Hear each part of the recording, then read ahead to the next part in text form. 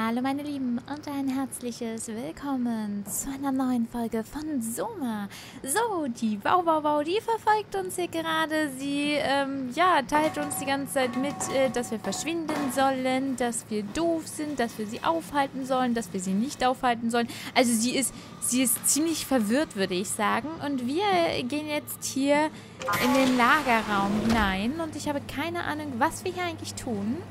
Aber wir gucken uns anscheinend Fische an. Yay! Fische. Gruselige Fische mit dem Gel verseucht.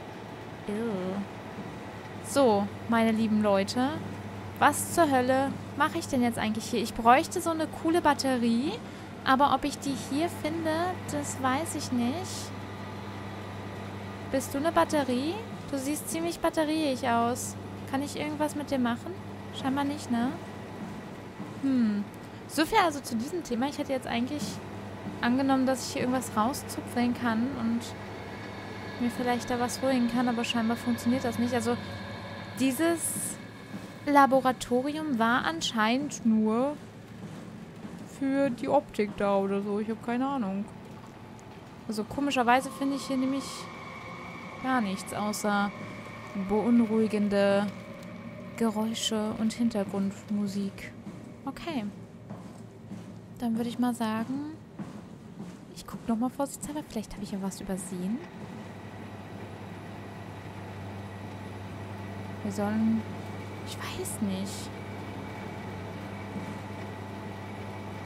Hier geht halt auch nichts auf, ne? Hm. Okay, ja, dann äh, lasse ich mal diesen, dieses Ding, dieses Ding sein. Wenn hier halt nichts geht, dann geht halt nichts. Also müssen wir unsere Suche wohl oder übel fortsetzen. Hallo, Wow. Komm mir nicht schon wieder... Was willst du, Mann? Du kommst hier andauernd rein. Ist dir nicht mal langsam langweilig? Hast du denn sonst nichts zu tun?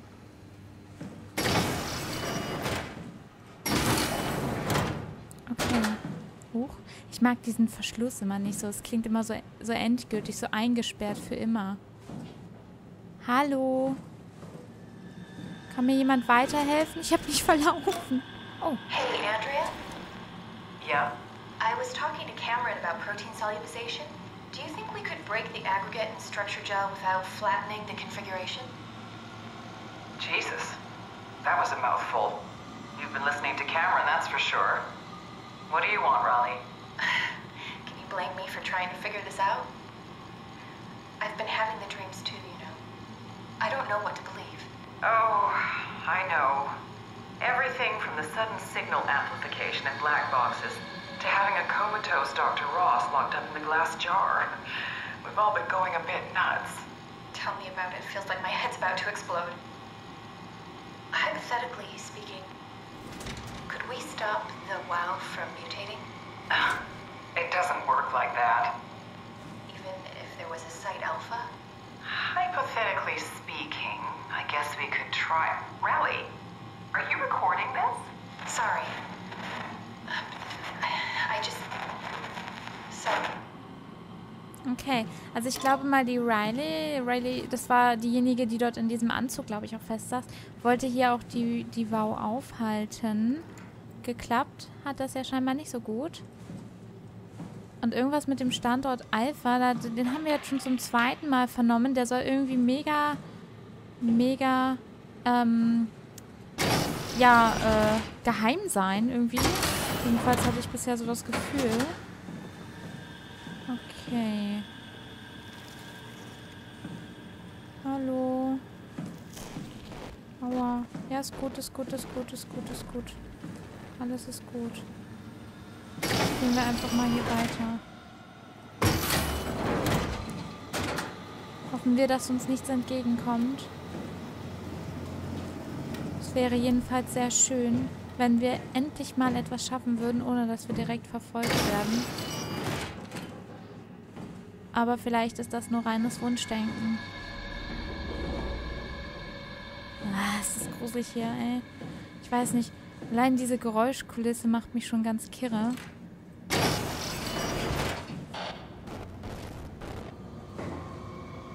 Okay. Hier, also im oberen Bereich, sind auch noch... Dieser Zugang ist komplett versperrt. Hier ist was versperrt. Im unteren Bereich sind die auch noch. Warte mal.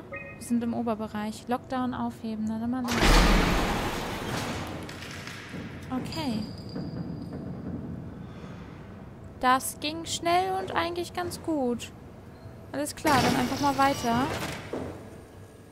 So viel Schlimmes kann ja hoffentlich erstmal nicht mehr passieren. Oh, schon wieder jemand hier völlig kopflos. Meine Güte, muss denn das sein? Verdammte Axt.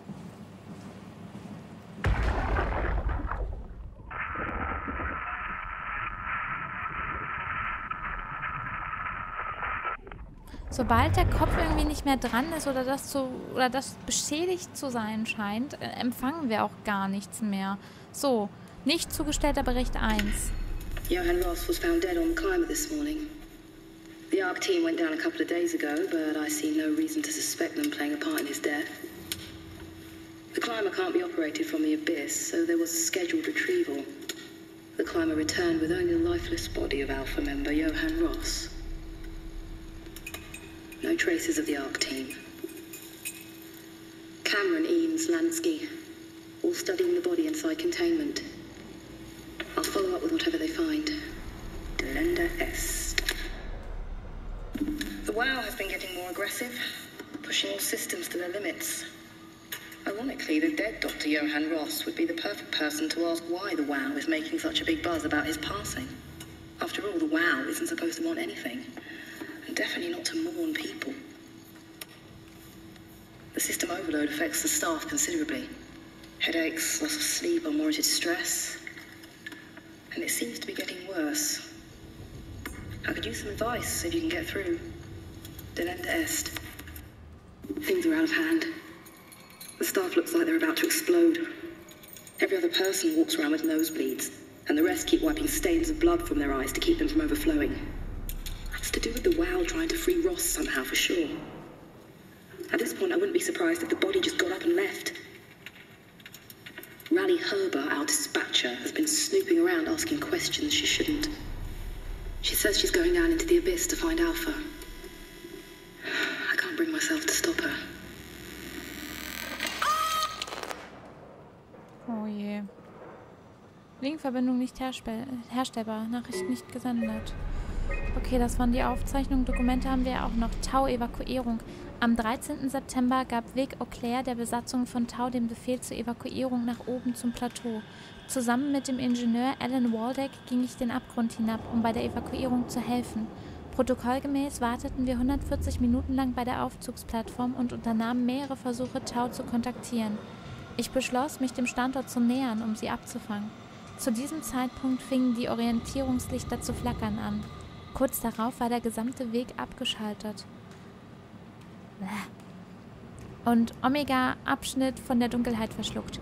Mit einem Flutlichtstrahler stieß ich weiter vor, bis ich über den Kurzstreckenfunk Schreie hörte. Das setzte sich sofort, wobei das Signal immer wieder abbrach. Als ich mich eilig näherte, um Untersuchungen anzustellen, fand ich den zerfleischten Leichnam der Außendienstmitarbeiterin Espinosa. Etwas Großes hatte sie fast in zwei Teile gerissen. Als ich die Wichtigkeit der Rettung Taus bzw. Ross abwog, hörte ich über das Funkgerät, wie Espinosas Kollegen abgeschlachtet wurden. Da ich keinerlei Möglichkeiten zur Situationsverbesserung sah, eilte ich zurück zur Aufzugsplattform und überließ die, überließ die Leute in Tau ihrem Schicksal. Tau. Mit etwas Glück hat es Ross zurück zu Tau geschafft und kann seine Arbeit in Alpha fortsetzen. Zur Vermeidung weiterer Störungen habe ich beschlossen, die Evakuierung als völlig gescheitert zu berichten. Ich hoffe, Täter durch von weiteren Versuchen abzuschrecken. Die Managerin von Omikron, Claudia Imes, hat bereits angeordnet, dass die Aufzugsplattform vorerst beim Plateau zu bleiben hat. Mein Bericht über die wilden Tiere hat allen so viel Angst eingejagt, dass sogar Waldeck und Darby aufgehört haben, die Luma-Sonden zu warten. Gut, dass Golaski nicht am Standort ist, denn ich glaube nicht, dass er dem zugestimmt hätte. Die Einschränkungen fielen etwas strenger aus, als ich erwartet hätte, aber ich werde damit klarkommen, solange Ross in Ruhe allein mit der WoW arbeiten kann. Cartage. Julia, Johann Ross, Mark Sereng. Okay. Dieses Labor kenne ich, glaube ich, sogar noch. Das ist das von Catherine, oder? Oder es sieht jedenfalls so ähnlich aus. Nee, das ist ja alles wahrscheinlich in Omikron.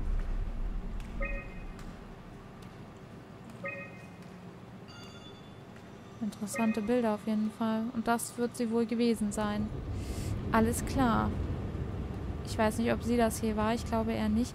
Aber schon sehr interessant. Also langsam aber sicher, muss ich auch ehrlich gestehen, sehe ich bei der Story auch nicht mehr hundertprozentig durch. Also ich weiß, dass ähm, die Wow sich mehr oder weniger selbstständig anscheinend gemacht hat und vielleicht die, das Überleben der Menschen so retten wollte, indem es, äh, ja, sie oder ihr, ihr Gedächtnis, eher gesagt, in, uh, Nudeln, ähm, ihr Gedächtnis in die Computer transferiert hat, in die Maschinen eher gesagt.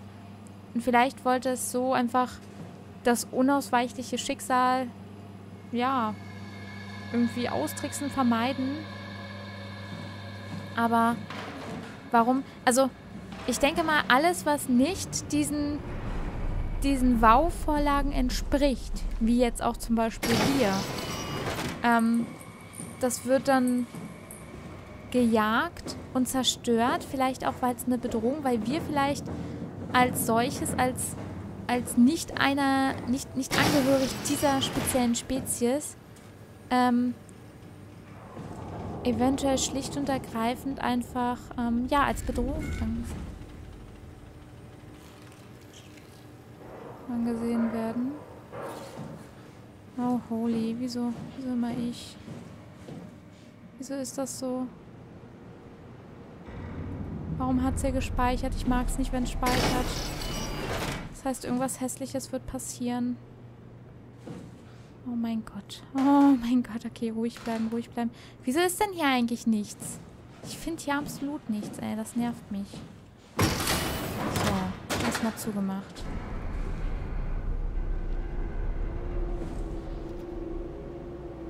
Der sieht noch ziemlich lebendig aus, um ehrlich zu sein.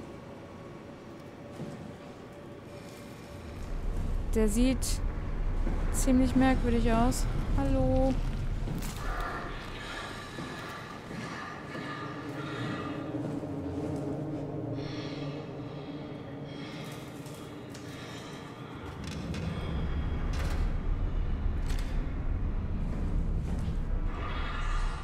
Oh mein Gott. Gott, da ist so ein Vieh. Der steht da aber nur rum, ne? Ach, herrje, herrje, herrje. Das wird ja lustig werden. Hier kann ich nichts machen. Okay, das ist noch zu.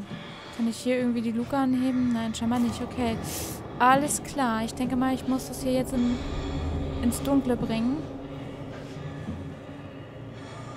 Glaube ich jedenfalls. Aber, äh, ja, toll. Hier, wo eigentlich so ein Powerpack gewesen wäre, ist nichts.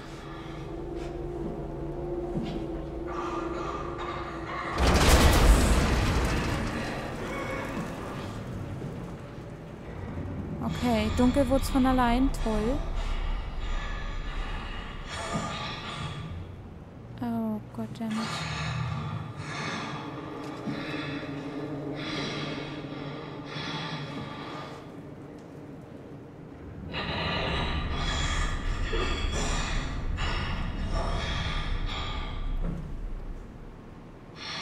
Okay, was auch immer du bist, bitte lass mich einfach in Ruhe. Was mache ich denn jetzt hier am dümmsten? Ich muss da hinten hin, aber das Vieh steht da rum.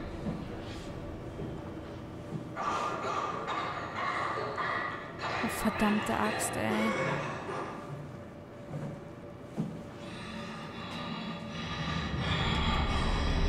Ich weiß nicht, ob das noch menschlich ist. Ich habe keine Ahnung.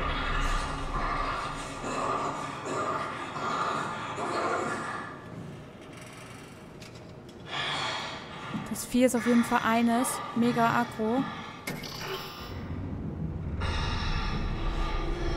Okay, was mache ich denn da jetzt am geschicktesten? Wie lenke ich denn dieses Teil ab? Ich kann ja dann nicht wahrscheinlich einfach vor dem weglaufen. Das würde ja bestimmt nicht funktionieren, oder? Kann ich dich hier irgendwie abkopseln, sodass hier irgendwas passiert? dass das Vieh einmal richtig ausrastet oder so. Ich habe keine Ahnung, was ich hier tun soll. Uiuiuiui. Uiuiui, und das geht natürlich nicht, ne? Nein, das geht natürlich nicht. Okay. Also ich denke mal, ich muss es durch ein Geräusch ablenken. Würde ich jetzt einfach mal schlicht und ergreifend behaupten.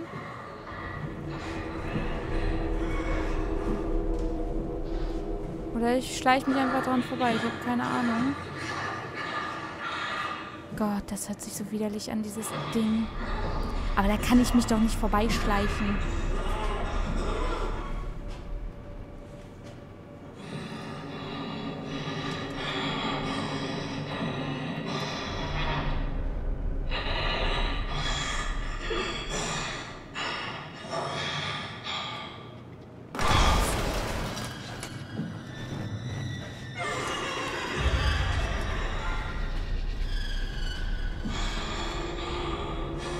Was war das? Was war das? Das war ich nicht. Das war ich nicht. Ich habe das nicht umgeschmissen. Ich versuch's mal einfach, indem ich da hinten was hinwerfe. Na toll, das hat ja... Das hat ja mal gar nichts. Boah, was? Das Vieh macht mir Angst und ich komme da irgendwie nicht vorbei. Verdammte Axt.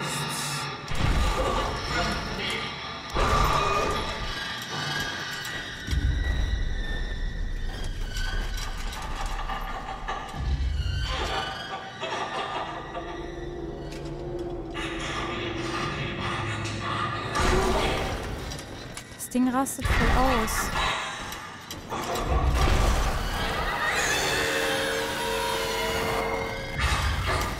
Du Scheiße!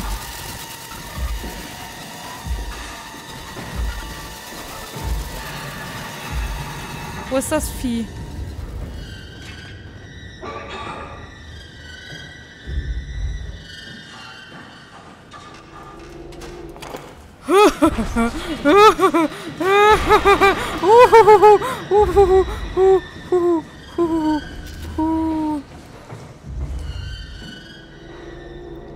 Was bringt mir dieses Ding jetzt? Bringt mir das überhaupt was? Ist das jetzt meine Batterie, die ich brauchte? Habe ich jetzt irgendwas geschafft?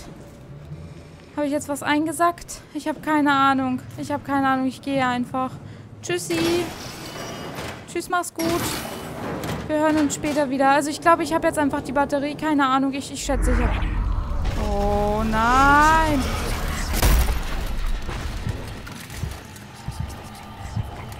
Was zur gottverfluchten Hölle war das? Vergifte die Quelle. Was für eine Quelle? Oh, hallo. Hallo, hallo. Tote Menschen sind mir immer noch lieber als durchgeknallte Computerse.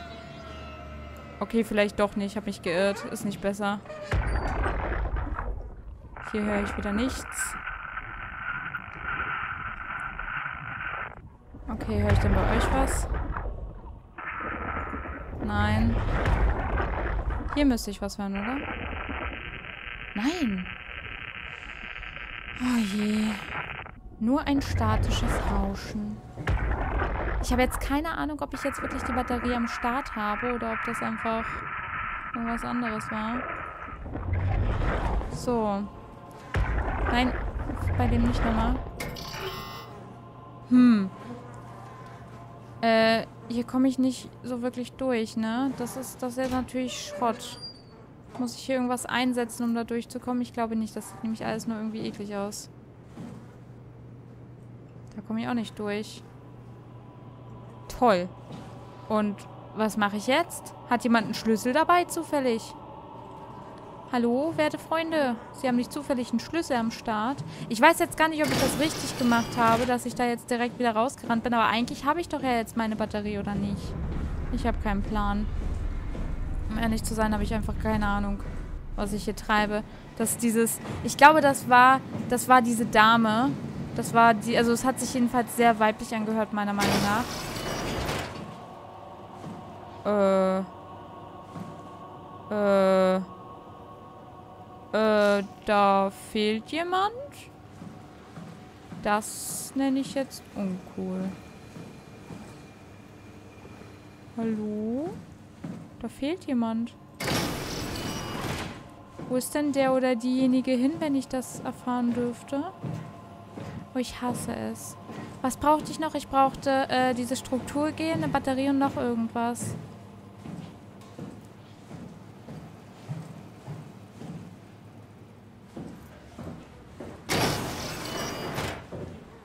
Das ist genau die unterste Etage.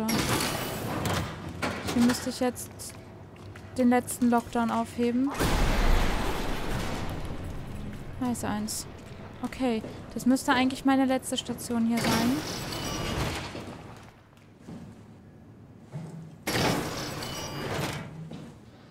Hallo, hallo, hallo.